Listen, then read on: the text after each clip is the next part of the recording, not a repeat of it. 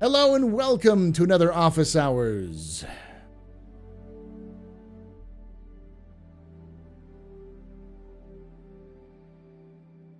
Capsule. That's right. Capsule. You're very important pubbers, very impressive visitors, very good pedestrians. You all rock. Thank you for coming and showing up and hanging out at us. I've I've just been dancing for a very long time, so I apologize for this. But this is a small segment of my office hours live stream where we talk about um, specific, a very specific portion, like usually like a news update or an ISC, um, and uh, part of a longer live stream. So this is recorded live, and I'd love for you to come over to, to watch us live on Thursdays at 5 p.m. Uh, Pacific, 8 p.m. Eastern, to watch us hang out, hang out with chat and discuss and talk about some of the stuff. Uh, we cover the lore, lore updates, news updates, everything in between. So, with that all being said, make sure if you have been enjoying these, if you've been watching these in the past, uh, please do make sure to hit that like button, subscribe for more content like this, and also hit the bell icon to be notified when we go live on Thursdays. That being said, let's jump into the ISC from what is it? March 21st, 2024.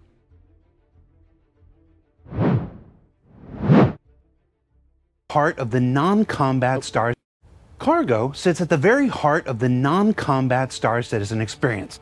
And as it continues to evolve in the upcoming Alpha 323 and beyond, its next major evolution is less about the places you'll go and more about the ones you'll start and come back to.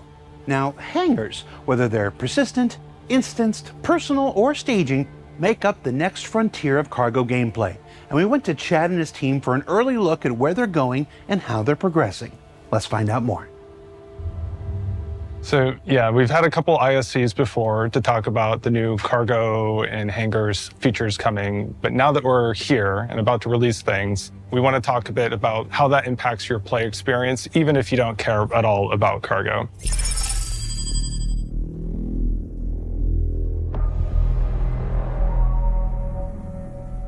To and fro with cargo. I love the orange guy meta they've been going with. I like it. Very cool. Very cool.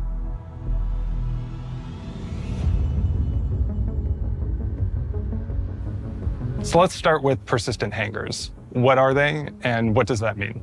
So a persistent hanger is an instance hanger that is going to be assigned to you whenever you select your home location when logging into the game for the first time for a patch. When that happens, what we do is we determine the largest ship that you have and then entitle to you a persistent hanger that's of the size needed to facilitate that ship.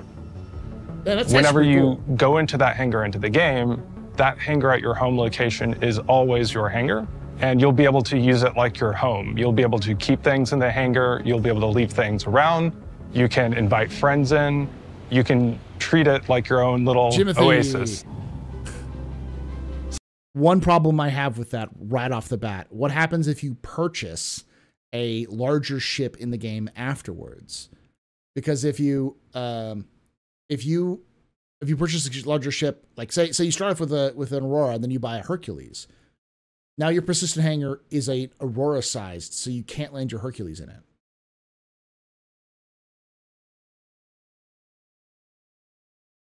Does it scale with the? Uh, that's a good question. If they if they're doing an ISC, they usually been doing the SCLs like a week after they go live. So if they talk with the cargo team, not this Friday but next Friday, that would be something definitely to ask. Is like, will it scale with in-game purchases as well? So let's talk about for these personal hangars, how do you actually get into them? Please proceed to side landing. You can make a request via ATC. You can tell that whoever's playing this is, um, uh, maybe they did it for the visuals, but it's like that's that's the old school method of requesting requesting landing. C for landing. And when we do that, we'll check to see if you have any personal hangars entitled to you. You'll be able to enter in using largely the same methodology that you do now. Land, and then you can just hang out in there. As far as what can you actually do with your personal hangar and what kinds of things can you decorate with it, What we're going to do is allow you to call anything in your inventory up via that freight elevator. You can pick it up off the freight elevator either with your hands or using the tractor beam and just screw it about your location however you pick. Also in the hangars, you'll notice several new kiosks. We have the freight elevator kiosk, which has a brand new uh, UI and uh, inventory system to deal with uh, large volumes of cargo. You're going to have on the left-hand side a section that is showing the contents of the platform itself. And on the right-hand side, similar inventory layout with all your armor and weapons and items. and then you decide what you want to spawn in um, in the freight elevator. The freight elevator then comes up, and then you can start doing like loading and unloading of various cargo into your ship and so on. If you're considerate about how you're loading things and you're trying to optimize your loading times, it'll give you a lot of power as far as, for example, making sure that certain kinds of things are front loaded on the platform to make your multi crew loading as streamlined as possible. And anything that's in your inventory, you're going to be able to call up. Some things you might have to put into an inventory container box. We're talking 8, 16, 24, even 32 SU size container boxes that you can put large items in. Now you can raise that up on the platform, including in collections, transfer that very quickly onto your ship, and then take them to another location. That's cool. Um, he said something back here before that, though. inventory you're going to be able to call up things and you're trying to optimize your loading times, it'll give you a lot of power as far as, for example, making sure that certain kinds of things are front loaded on Those are drugs. That's a lot of drugs. uh, it means that Loadmaster is a legitimate gameplay uh, g- gameplay um, uh, profession. So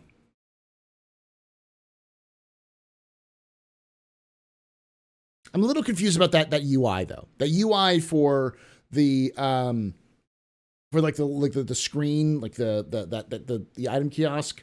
I kind of get it, but I, I'm guessing that the stuff on the right is more of your loose items. And if you want to spawn them, they're going to have to spawn inside larger containers. That's something we're going to have to kind of wait for the game to see. But kinds of things are front loaded on talking 8, 16, 24, even 32 SU size container boxes that you can put large items in. Now you can raise that up on the platform, including in collections, transfer that very quickly onto your ship, and then take them to another location. In your personal hangar, you'll also have access to several other kiosks, starting with the item bank. which are another form of kiosk, which you could almost consider like a small freight elevator in a way, in that Yeah. you can retrieve personal items such as clothing, armor, and weapons. Because the item that's being delivered will be delivered in a tray that's in the same machine. So you interact that kind of like you interact with a loot box and you uh, get that out. So no other player can actually physically get anything from your local inventory. And uh, these item banks can be found not just within the hangars, but also the wider location, such as your habs and other key areas of a location to retrieve um, your personal items. Since you can't interact with the with your inventory anymore at any given time, it means like we need to have enough item banks around each location so you don't block each other um, from accessing an, an, a terminal, right? It's just a quicker way to get a quick gun or a few MedPens or your armor without having to load it up from the freight elevator. So, I am going to assume that over time these these item banks are going to become more granular. So, like you you'll have an item bank for a specific region of a planet or a specific area that you can store stuff in. Um, just because a it'll make more sense, um, like logically, and also it will prevent players from uh, glitching the system. Because one of the things that can easily happen is, say, you allow guns in um in in like like they start doing like limiting access to guns inside certain cities like say certain landing zones. But if you have the right permit you can bring it in. So in theory you should be able to pull out anything from your inventory and without it being super like gamey where you can't pull out your gun because you know you're in an armistice zone you'll likely be able to access your guns.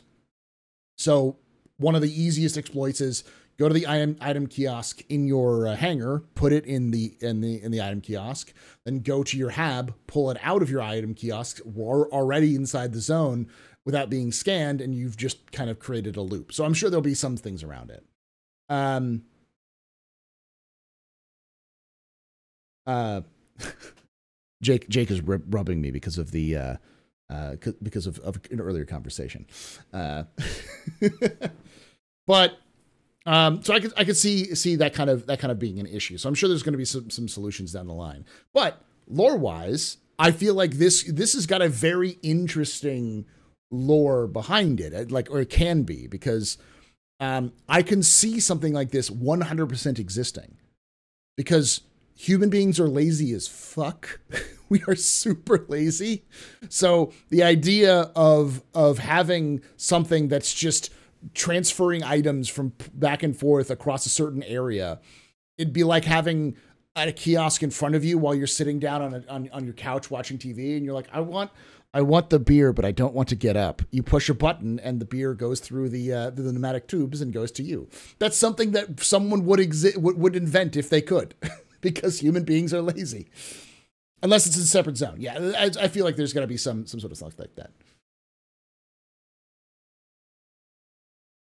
And the last kiosk that I want to talk about is the ASOP terminal. which we have positioned in the hangar so you can request your ships from within the hangar and not just the spaceport. So they will still remain in the spaceport. So if you don't have a personal hangar in your location, you can request your ship also from there. What we're doing is we're changing the way that the ships spawn in the game. You can now request your ships from within the hangar and they will appear to you. But they won't just come out of thin air. What happens is the whole of the floor will open up You get this like amazing view of the of the hangar. The lights dim, the doors open, and the landing platform will be rising up towards you and your ship will be there.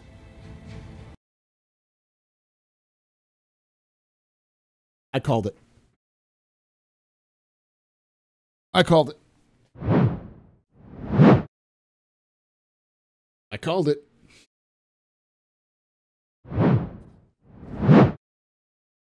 I, I, called this. I, I, said that this was going to be the, how they handled the persistent hangers like two years ago. Because I said it was simple. It makes sense in Star, Star Citizen's already kind of like how they've already designed stuff. And uh, uh, but uh, yeah, I'm, I'm happy for this. This is actually really cool. I like this idea because it's super cinematic and I like it. We try to balance it in a way that it doesn't take too much time. Yeah, how to show a new player your glo- like. Imagine this: you're a brand new player. You go into your hangar, you spawn your ship, and you hear this like the, the like and like the things are opening, and like like the little warning signs are flashing, and you're just like, what the fuck is happening? And then up rises your aurora from the depths. It's just like, oh man, that's cool. That's really cool.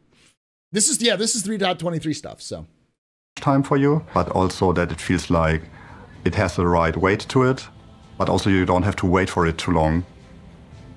So now you have a seamless transition and a realistic way of storing your ships away. Additionally, you can do clever things like call up a smaller vehicle, such as a ground vehicle, drive it off, and then call up a larger vehicle.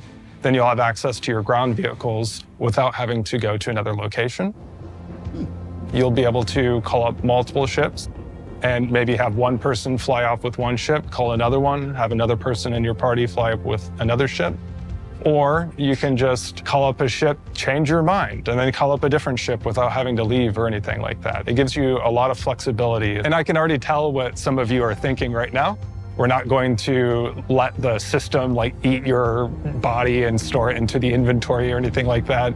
Uh, we'll make sure to account for that such that if there's a blocking change that happens, we'll stop the process, go back up to the default state, and then tell the player about the issue so that they can account for it. If you do want to jump into the platform No, just Timothy. before it closes and fall to your death, you can fall to your death if you want to.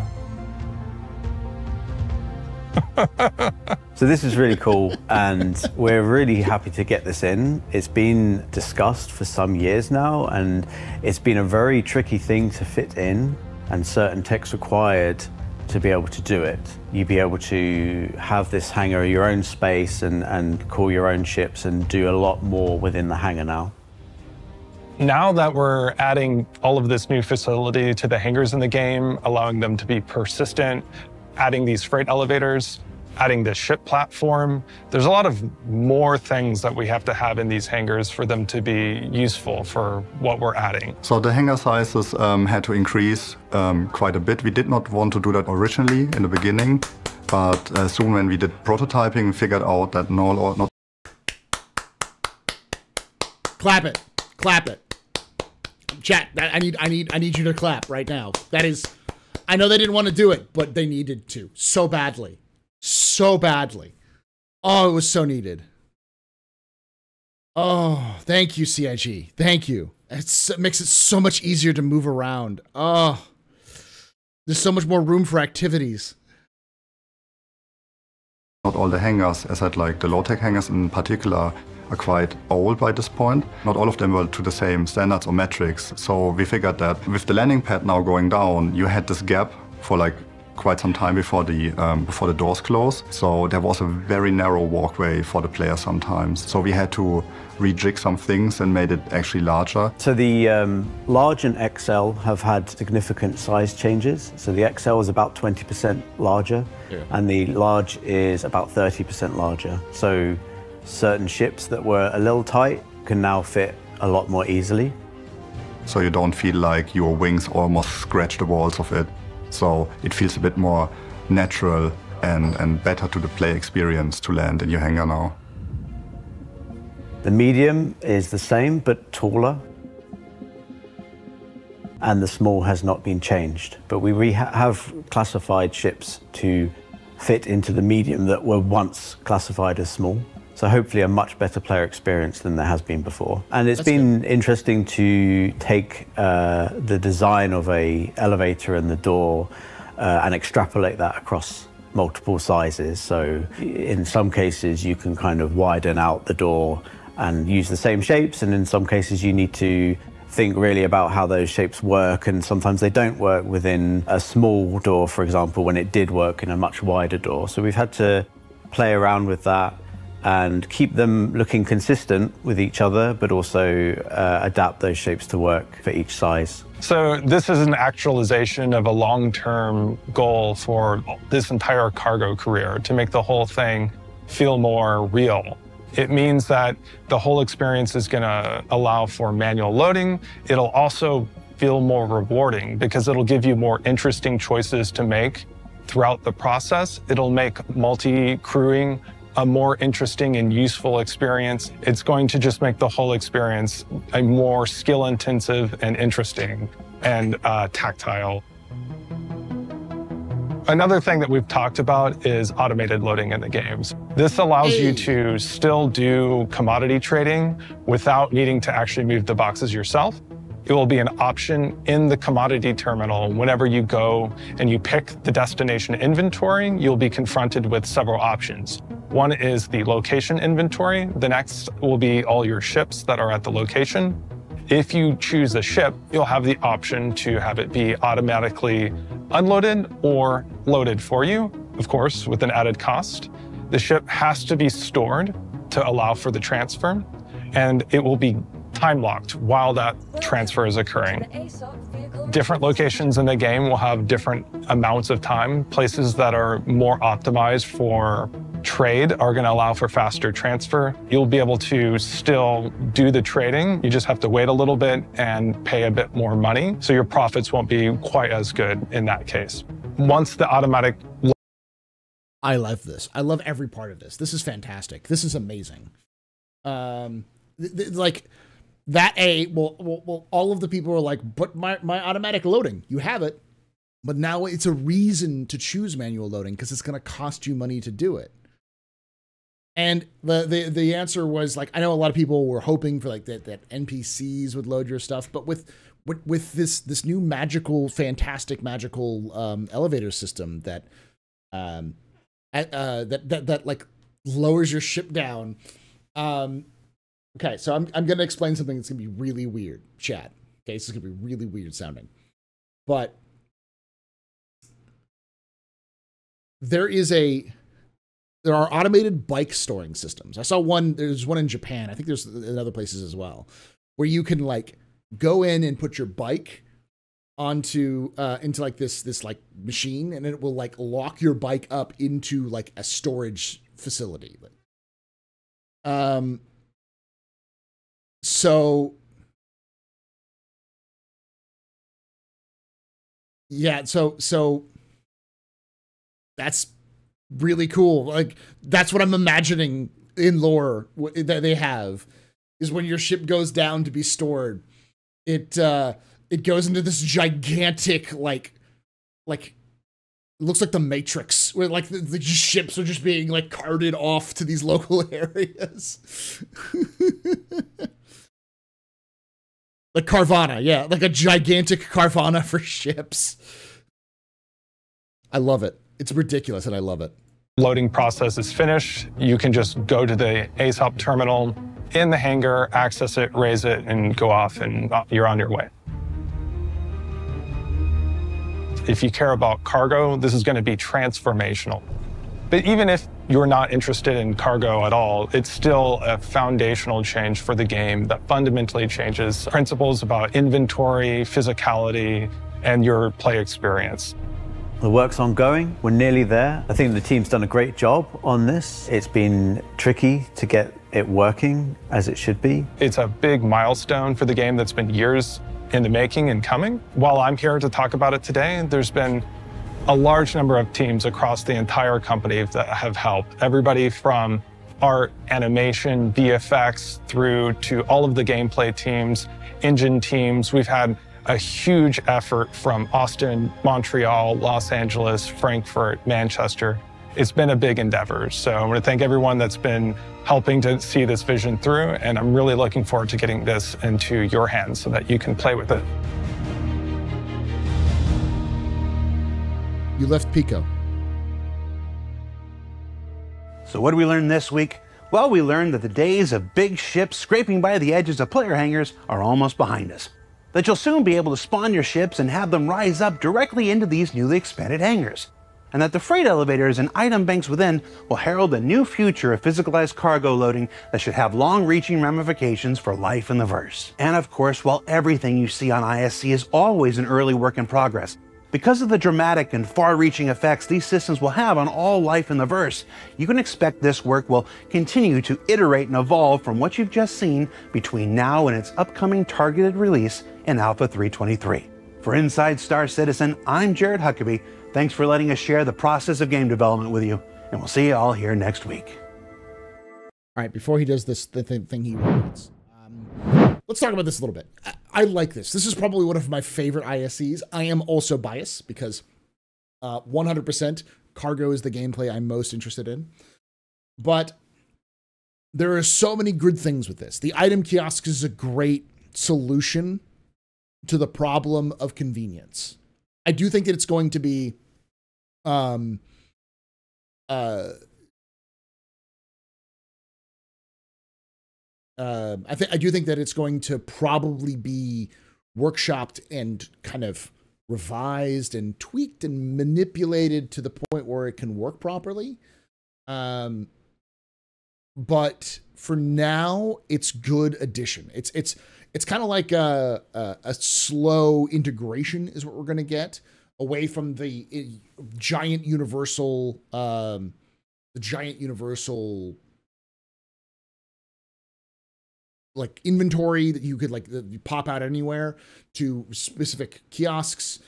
Uh, but I don't think it's going to be that different. It's just like, oh, I'm going to stop by this kiosk and grab something, and it should still kind of work for the whole landing zone. But as cities expand, and as the landing zones start to become compartmentalized, you're going to probably start seeing those whittle down even further to a regional kiosk system. So you have to go to the right regional kiosks or possibly like express kiosks where you can take an item from one region to another region, um, which again leads to more questions like being able to take your gear and have the NPCs ship it to you from other locations. This is this is the kind of technology that CIG is working on right now that could be implemented for those sorts of things. So, uh, yeah, it's it's cool, it's great. Uh, I think I think these are all good additions that were that, that don't break immersion, that do add more to the gameplay uh, while making it meaningful. I love the automated loading thing, which they they they teased in the monthly report and finally showed it off here. It's like, yes, I love the fact they're doing automated loading. Uh, gosh, it's this is a good ISC, y'all. This is just a really good ISC. This was uh, I'm I'm a very happy pubber right now. let's watch Jake. Let's watch Jared uh, regret his life.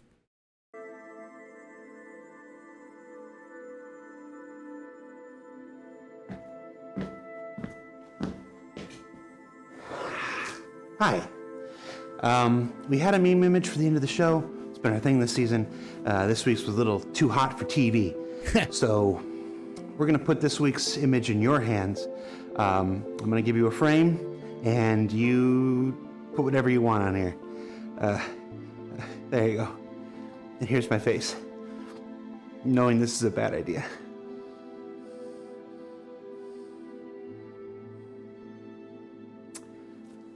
That's a mistake.